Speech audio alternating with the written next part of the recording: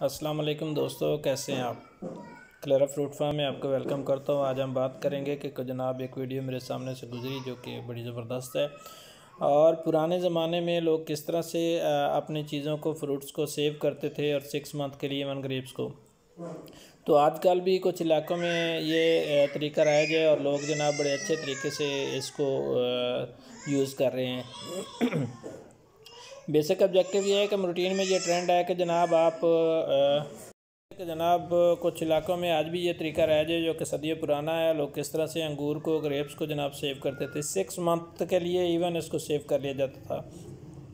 basic क्या था कि दो जो है बर्तन टाइप जो है, जो कि प्लेट टाइप ऐसे मिट्टी के बनाए जाते थे और उसके अंदर जनाब ग्रेप्स को रख के तो दोनों तरफ़ से उसको सील बंद कर दिया जाता